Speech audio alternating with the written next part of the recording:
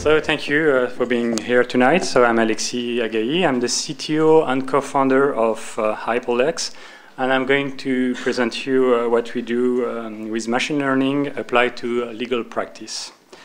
So what is Hyperlex? Uh, we are a startup um, doing contract management and also contract analysis, data extraction, and review of the contract. Uh, what does it mean? Um, let's start with a use case. Um, let's say I'm a legal expert and I would like to find companies in charge of investment portfolio. Uh, if I am a human and if I have contract printed on paper, uh, what I will do is to mm, look for the proper papers, uh, find uh, probably a stack of, uh, of, files of papers, and um, search into those papers to find a document related to investment, and then quickly browse on the, those documents to search for a related paragraph speaking of investment and then briefly read the sentence where uh, I could spot the company name and, identif and identify those um, company names. So as a human, I will do all those tasks, and it's pretty, pretty um, um, long and um, fastidious. Uh, so what we are trying to do is to automate all those stages and use uh, machine learning to, um, to learn from the document and uh, avoid you all those steps, especially if you have to deal with, let's say, more than thousands of documents.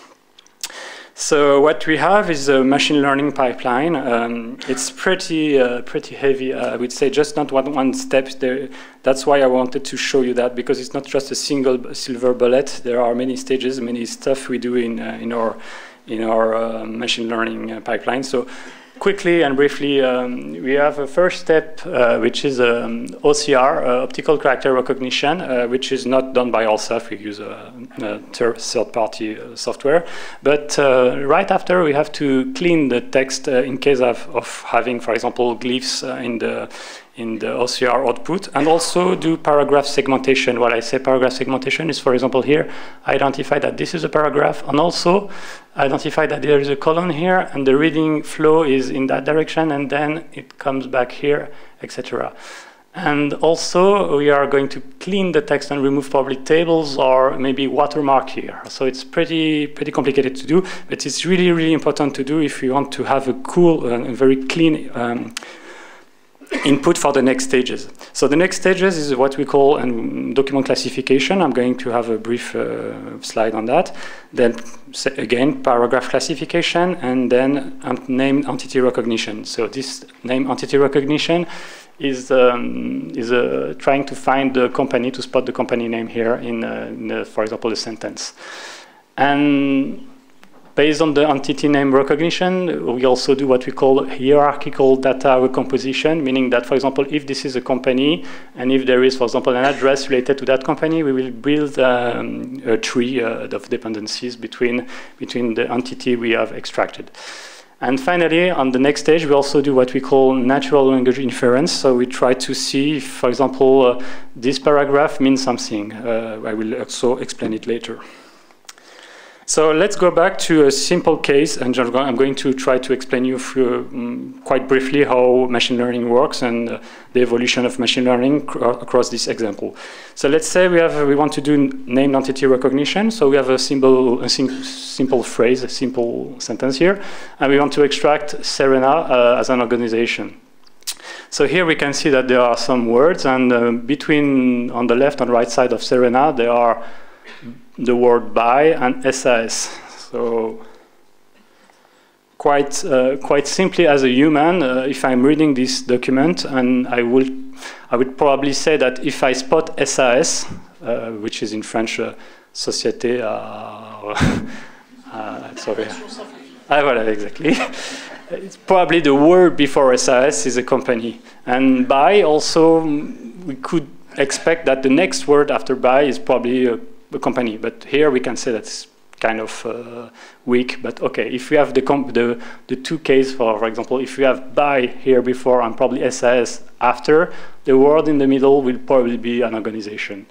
So this is what we call uh, features. We, we have some kind of recipe like that, and we know that uh, if, for example, the first letter is capital, it means that probably it will be an organization. So there is a lot of features like that, and we can uh, try to use them to build what we call a feature representation of uh, this and put it into what we call a learning function and that will try to learn from the features that uh, uh, according to what we give in input, uh, the output should be organization. Generally, in classical machine learning, it's what we call a linear classifier, so it tries to separate the space from, for example, uh, what would be organization and what are not organization.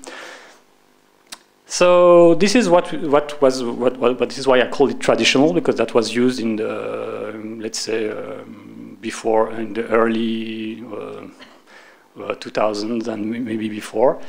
What has changed um, is that now, enfin now, because uh, deep learning, the concept of deep learning quite also those let's say in the end of the previous century, what, we, what, what has been introduced is the deep learning, and it's the idea of having, instead of having human trying to find the feature representation here, we let uh, what we call a learning function extract those features uh, from, uh, from the word. So learn from the word here well, it's not working anymore here, from the word here, that uh, probably by an SAS uh, means that in between uh, Serena is uh, an organization.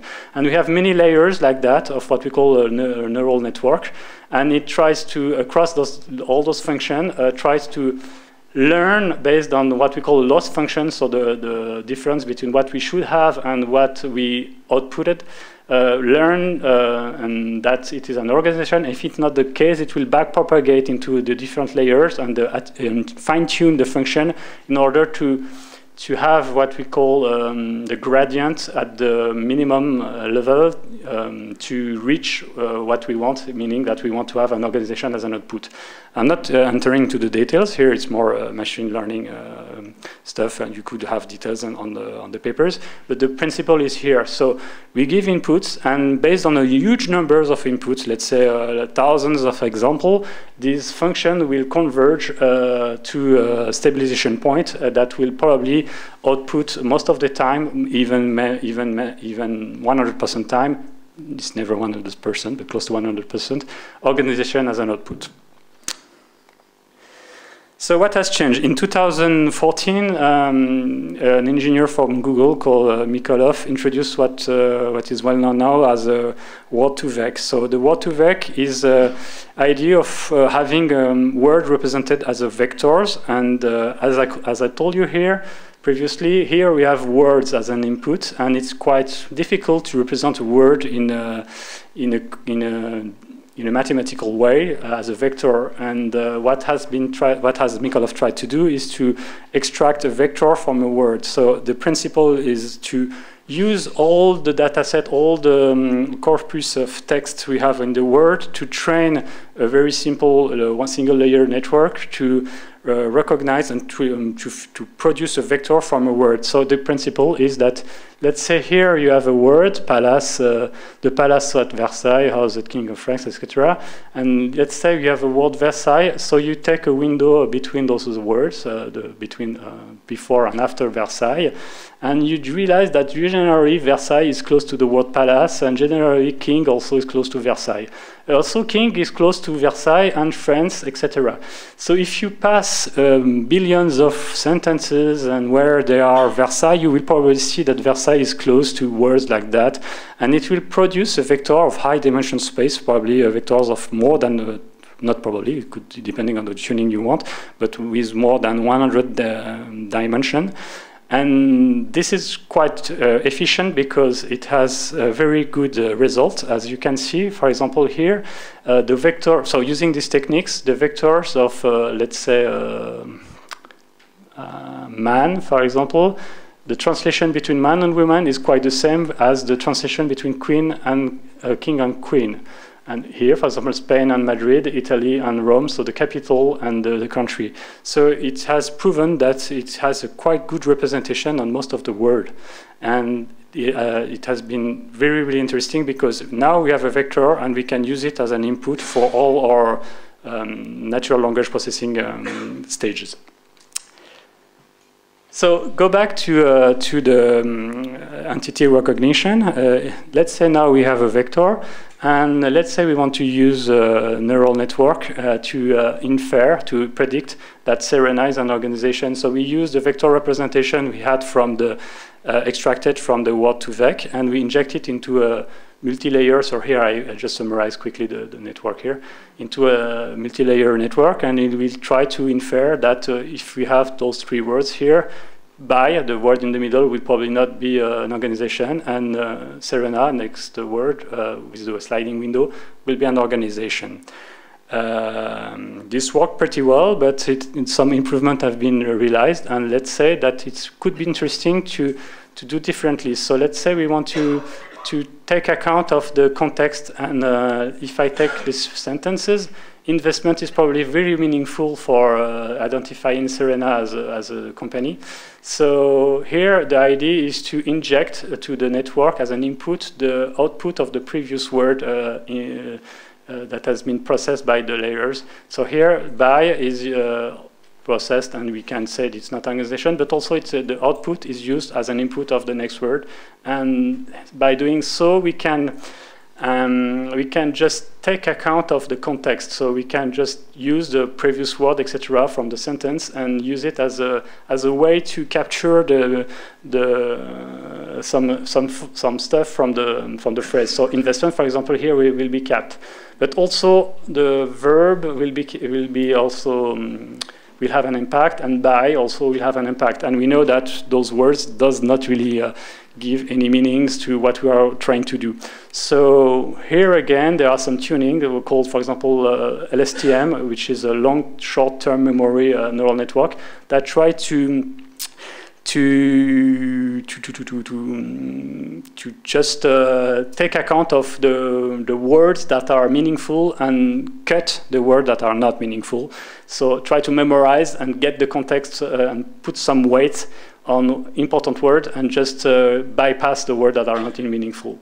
And one last tuning is to do it bidirectionally. So again, here, funny thing is that you can just say investment is important for having this extracted as an organization, but if you take it backward and read the sentence in that direction, probably, but here it's not the case, maybe this word would be important to determine that Serena is an organization.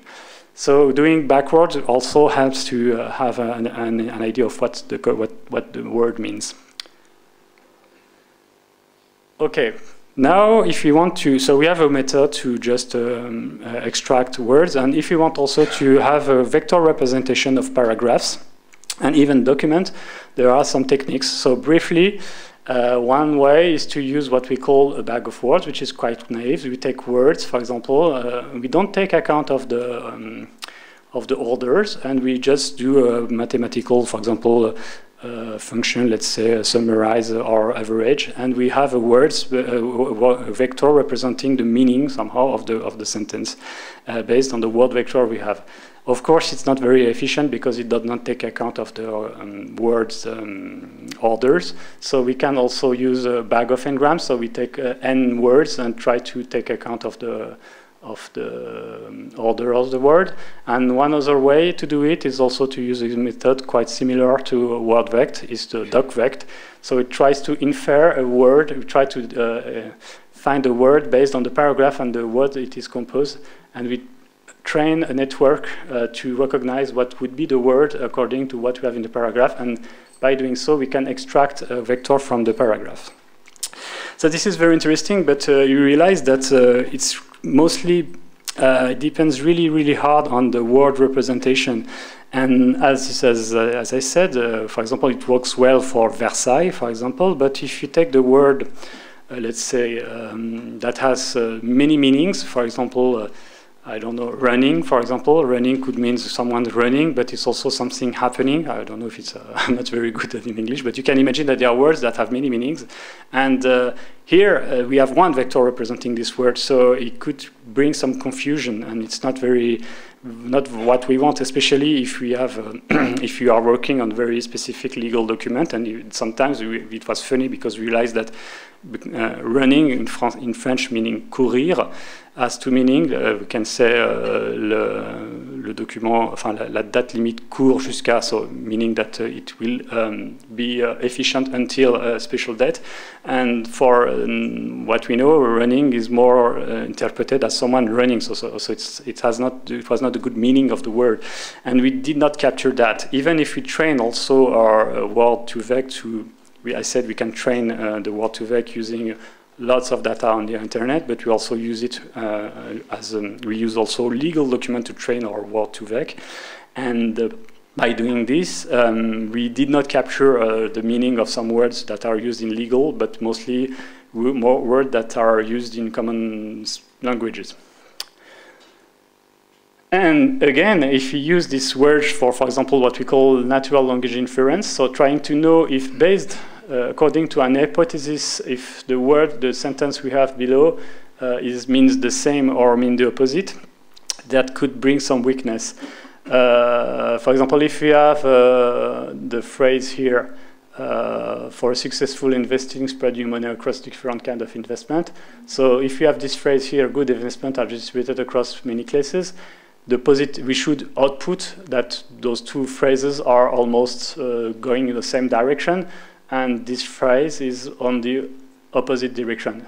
And here you see that one means that that's it's the opposite direction, but uh, it's difficult for a machine to realize that this word has a really, really strong meaning. Uh, and those two phrases are quite saying the opposite. So here we have a little weakness uh, in the system, and uh, we realize that based on the word, it's not very easy to, to have uh, some good interpretation of a phrase. So how it works, uh, we generally, we based, as, as like I said, uh, we take the hypothesis, we extract a vector, and again we have a, a learning function here, and a classifier that try to infer if it's positive, neutral, or negatives. And obviously, if the input is based on vector based themselves on Word2Vec, it's not won't be very very efficient. There are many ways to tune that, and uh, there are progress that has been done, but uh, so far it's um, it's it's okay, it's working, but uh, there are some limits. So recently, in 2018, so um, maybe a few months ago, a new paper has emerged, and uh, this is kind of new, let's say, um, revolution in the machine learning uh, space. It's uh, what uh, called what is called deep contextualized word representation. So here the idea is instead of having what uh, what I presented you before, Word2Vec, uh, so word with vector represented, uh, extracted from um, the corpus of the data we, we, injected and based on the window of the, let's say, a few words before, a few words after. Here we use what I presented you, uh, the LSTM, so we use a recurrent neural network to try to cat capture here the meaning of this word according to previous words and give a vector representation here of this word based on the context. So it will change, uh, the word will not be run, uh, like I said previously, run will, will not be, we won't have only one vector for run word, for example, we will have a vector depending on the context. So this is really interesting because we can capture the word context. And if we compare, for example, here we have the word play and the word close to those, those uh, those words based on the Word2Vec is those one. But here, if you use uh, this, this method of ELMo, we can see that play here is uh, related to a sentence, to this word in this sentence. And we can see that there is a slightly different uh, meaning here compared to that one. And uh, it won't confuse between that word and that word. So here we see that play means someone playing uh, the game, and here it's more the play, uh, the theater um, play. So it is very, very interesting because we capture really the sense of the, of the word and we use now this as a vector, as an embedding for all our, our uh, NLP, natural language processing, uh, for all, as an input for all our processes. So it's very, very, very efficient, especially if you compare uh, what they, what the, what the paper produced, and we, we also uh, realized that it was very uh, efficient on our algorithm, especially on what we call the NER, not name entity recognition, we get a boost of 21%. But the drawback is that it's much slower because on one side we had vector directly from a word, and it was just a a table of uh, correspondence. So we have a word and we have directly the vector. Here we need to capture the word from the, the context uh, on using LSTM. So it's much slower, something like around 20 times slower. So that's the price to pay to have precision. Uh, okay, so today the, the, CPU and the GPU are quite cheap, and we can, we can use uh, we can use them. But uh, when we have to deal with thousands of documents, for example, we have clients sending us, uh, let's say, 100, um, 100 no, no, 100,000 documents, and uh, they want it to be processed quite fast. This is uh, this is kind of difficult to to use this algorithm in this case. Uh, but uh, we use it especially on uh, some specific tasks We know we want to have real good precision, so that's why uh, we won't apply them for, for example, word uh, document classification, uh, but more, speci more, speci more, specifically to word extraction for named entity recognition.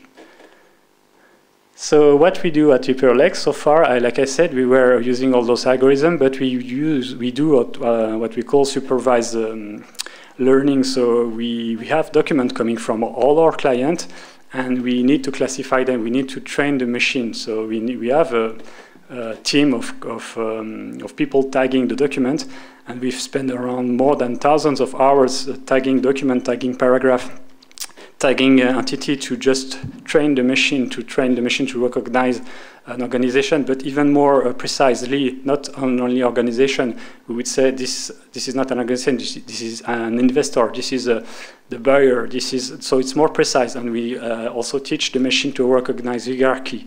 Um, and we also teach the machine to recognize that a paragraph means something. So we have lots of, of, of, of uh, data that have been processed so far by our team, and it's it's uh, it's uh, getting more. We are getting more data every day, and also we ask for our client to um, go to the interface uh, we have developed and to validate stuff. So all our clients are also contributing to this uh, to this uh, data set. We also use unsupervised. Um, Uh, and supervised training uh, to boost a little bit uh, this stage. So for example, we use clusterization to just uh, categorize a huge amount of data in the same bag. And then if someone uh, labelizes this bag, we automatically assume that the whole bag is the same, so it goes faster. And we also use what we call local, local and global model. model. So for example, we have a the local model for one for each of our clients. Uh, we also have a local model for uh, each document. Uh, we have global model that is shared across all our customers. Sorry. Uh, and um, we have some what we call arbitration algorithm to decide if we should use for, for example, a specific task, a global, local, or document-specific model. Oh, sorry. Okay. So, so far, uh, the results are very, very good on document classification. I forget to mention, so when I say very good, it's not close to, it's close to 100%, and it's depend on the data set, so we need training uh, um, before, uh, it's not, if we have a client coming uh, with a new kind of document, we need to train the document and to have this, uh, this uh, quality. But the results are very good.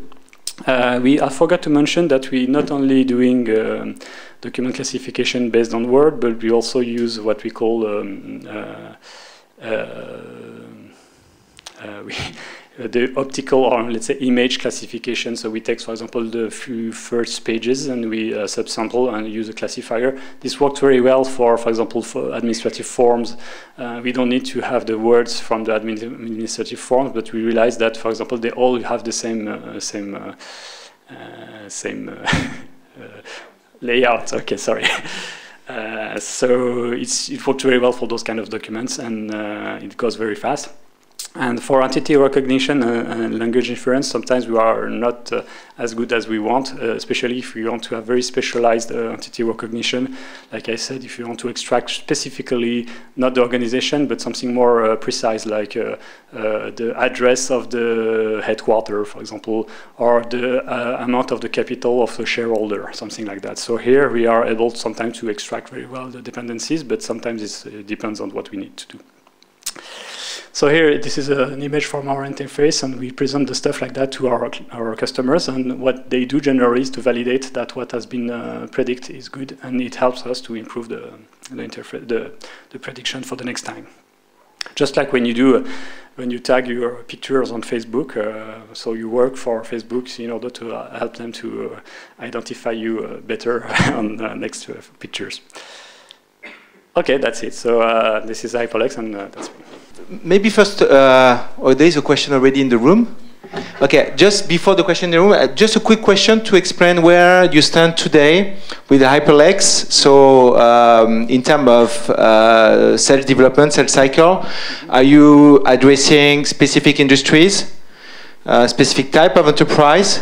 And uh, is your product ready today to be to be uh, to so, be commercialized? Yes, yeah, yeah. So we have started the commercialization, and we have a few clients uh, using our product right now. It's very interesting because uh, it brings a lot of uh, feedback, uh, not necessarily on machine learning, by the way, and we have identified some very some many kind of industry. One industry that is very interested by our our product is.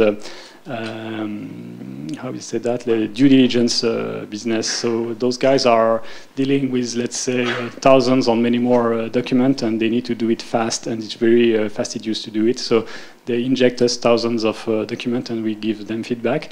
We also have clients using our, our solution as an API, so we don't they don't use even the the, the interface. And we have clients, a small company. When I say small companies. Uh, um, not that small, but uh, a company with legal um, department who are having from 5 to 20 legal experts. And uh, they generally have more than uh, 100, from 100 to 1,000 uh, contracts uh, to manage. And here it brings a lot of value because it's really painful to, to uh, um, extract and also to to re so re-input, I don't know, uh, to re to get the, um, the, the data from the document. So here we bring a lot of values. And it's French, English, other languages. Oh, yes, forgot to mention. Yes, it's uh, language agnostic, uh, but uh, every time we oh, English is very easy because, like I said, there are lots of unsupervised training based on the on the on the data you have on the internet, and there are training data set in English. That's very easy for English. But for when we don't have English, we we need to uh, train with our team uh, to recognize some some uh, some uh, some things we, we, want to extract, and we work in every language. That's the beauty of the of the thing. And we started with French, so this is very interesting because we decided not to go first in English because too easy, but to address the French with the limitation of French in order to be able to address every language. So we did also German and Spanish right so so far. Okay, you had a question. I had two questions. Uh, so first of all, thanks for the candid presentation, and I appreciate the transparency of where you're at. The first question was exactly that: that like, how do you scale from to a new language, and you, do you have to retrain? You just said that. Mm -hmm. And the second one is the models. Do you like? I'm interested in how do you make them available? Is it through like a model store? Like what's what's you mean technically? Yeah, or the business. Um, like, is, are you building a business around the models as well? No, I mean if you the sell global, the models. You have a local and global models. Uh, yeah. Yeah. No, we are not selling models. We are selling through the API, but we I never nobody asked us that. That's funny. First time. I, I, guess it's yeah. your uh, secret sauce, no? Yeah, I guess yeah because. So uh, you probably don't want to sell them. No, I'm not sure we can also sell it. Yes, yes, and we, we there are models uh, uh, shared across customers. So those models, for example, when we have a clause of, uh, I think we said clause in English, a clause, no? Clause. Uh, what do you mean? La clause juridique. Uh. ah, la clause juridique. clause, no? Clause. Clause. Yes. Okay, when you have a clause of uh, jurisdiction, uh, it's kind of universal between all our, our, customers, so that one could be easily identified and shared. Or maybe, for example, clause of NDA, uh, like a non-disclosure uh, agreement, is generally uh, the same across all the clients. But some clients have specific business, like uh, logistic, um, uh, transport, and uh, we have a client like that, and it's very different from, for example, a client like Capgemini have, dealing with a subcontractor uh, contract. So in this case, there is really, really no need to share stuff between them uh, on those specific case, but on the global clauses, uh, it makes lots of sense. There's a question over there. Yes, hi, my name is Toon. I travel from Brussels, and my company is called Lex.be, and we do something very similar, and we're starting to encounter, I think you will encounter the same thing, as the legal professionals become more knowledgeable that they are training the algorithms, which are our models. Uh, they want to make sure that they, they all believe that what they do is unique and better than their competitors. And so do not, they do not want you to share this feedback loop. And so my question, and you started answering it, some parts you use the feedback loop and use it, apply it to everybody. Mm -hmm. But for some customers, we now get questions that want to keep the feedback loop improvements just to themselves. Is this something that you're working on or integrating your in your uh, algorithms yourself? Yeah. Okay. So you mean a feedback loop, meaning that they can improve the learnings? Uh, yeah. So you, are showing that your, yeah, your customer says yes, this is good, this is not yes, good. Yes, validate yes. this, we, and so you get the reinforcement okay. factors. Got it. Yes. We, we have two kind of interface for that. We have interface that is more for kind kind of quick and dirty, but used by our our legal internal expert that are going to tag the stuff. But it's very efficient. It goes very fast. It's just like Instagram, uh, and you you, you tag stuff, etc. And we have a more um, clean interface. Uh, I show you a glimpse of a quick example here for our customers, and they uh, tag generally if they want to have uh, something clean extracted from the document and they help us to validate. But sometimes they don't want to do that, and they just want to, to trust the machine. Uh, it works for, for some clients. It works pretty well, but some of them probably uh, they don't want. For example, the notary they don't want to trust the machine, so they pass across all the document and validate all the document to be sure that the data that we have output uh, is correct. So it depends on our customers. Thanks. There was first question there. Thank you very much for your presentation. Uh, I think related with what we are speaking is for example, if one customer can, can get benefits for the algorithm being trained with the information of another customer. Mm -hmm. I suppose you have a base, but I don't know if you can split that kind of information inside the algorithm. Ah, you mean uh, you want to segregate this, or you want to make? Uh yeah, if, if if you have a customer, let's say from the automotive indu industry, mm -hmm. so mm-hmm. you will have some specific mm -hmm. language over yep, there, yep. but that may help I don't know, a bank or something like that. Mm. So is it possible to split yeah, okay, that information? Sure. Okay, yes, yes.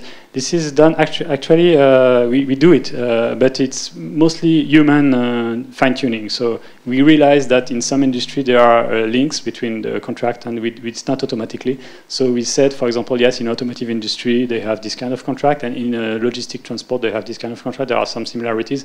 Now we can share uh, these, these things. So what is very interesting is that we keep the contract from our customers and we, we, we change the, our algorithm and retrain, uh, retrain and re, re-infer all the documents we already have, and it's improving every day. So sometimes we do some fine tunings, and we just test if it's the results are better on the training set and compared to what the client has already labeled. And if it's not good enough, we go back to what we had. So sometimes uh, having bridge between uh, one industry to another uh, could bring some benefit to the other one. And this is really what we want to do. So and it's well understood by the client, by the customers, because they realize that, uh, in fact, they don't really care about uh, that. Uh, what they want is result. They don't really care that someone learned from another one. They just want their document to be better every day. So some of them say, "Oh, yeah, no, it's I don't want." But we said it's just like when you have a lawyer's. Uh, when you have a lawyer, you, you, learn from your contract. But if he's going to see another customer, he's going to learn also. Uh, going to apply what he has learned from uh, from what from you. I mean. Okay. Okay, there's the last question here. I'm sorry, because then after we're running out of time. So last question, but you going to Alexis will be there after for the cocktail. Yeah, so. I'm, uh, I'm, here for the cocktail. Hi, my name is Pierre. I'm from uh, UAVia. Um, uh, one question, which is a bit following what was said. Uh, do you um, preset the domain or the context of what you're looking for? And does it mean that you have to prepare neural networks depending on uh, cooking, legal, uh, traveling or so, or do you manage to get, and how open can be your system? Okay, uh, very good question and very accurate, in fact, because uh, some industry, uh, we know, for example, anything related to real estate, we are very good at that, and we don't, we set, we set up some stuff at the beginning, and now we don't need to, to for example, train, etc., a new contract. But when we have a new industry, we don't know really uh, how it works. We have to learn, so there is always a stage of trying to understand what the what the customers want from the contract. So there is always a setup stage uh, on the specific industries. That also explains why on, the business side we tries to we try to focus on industry we know pretty well at this stage because we are still small, and then we'll go wider on uh, other industry. But we don't close doors. I mean, it's if there is a new customer, we will uh, study. But yes, there is a setup stage, even just to understand what the people want to, us to extract and we did not decide to have a universal understanding at the beginning because it's too, too painful. We are a startup, so we learn from our customers. So we, our model is going is going bigger every day based on what we have uh, as a customers. Okay, Alexis, thank you very much. Very interesting.